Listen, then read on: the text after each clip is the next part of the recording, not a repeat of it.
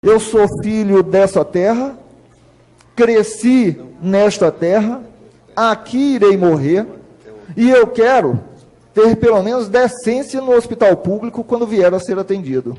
Nós nos deparamos com um Estado ineficiente, nós nos deparamos com um município ineficiente, nós nos deparamos de tal forma e há tanto tempo que grande parte da sociedade já olha e fala assim: não, mas é assim mesmo.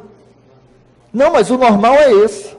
Como eu já me deparei com pessoas falando, não, o normal é ficarem professores quatro meses sem receber o pagamento. Rapaz, o normal não é o certo. Nós estamos aqui representando a sociedade, eleitos pela sociedade, para fazer o que é certo.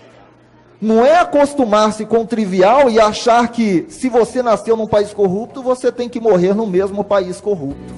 Júnior Gel, esse respeita o seu voto.